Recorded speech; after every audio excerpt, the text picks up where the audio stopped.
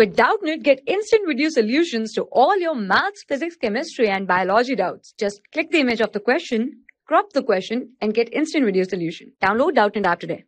Hello everyone. Here the question is in the unit cell of the crystal formed by the ionic compound of X and Y, the corners are occupied by X and the center of the faces by Y. The empirical formula of the compound is. Here given is that X atoms occupied all the corners.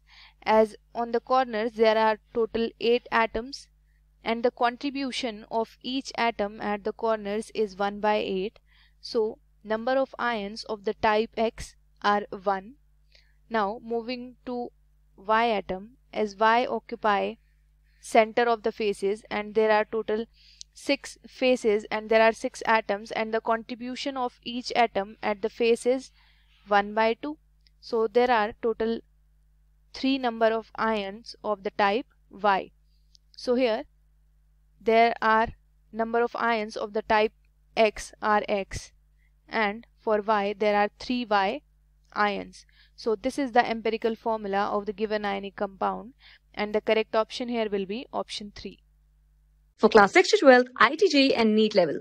Trusted by more than 5 crore students. Download Doubtnut app today.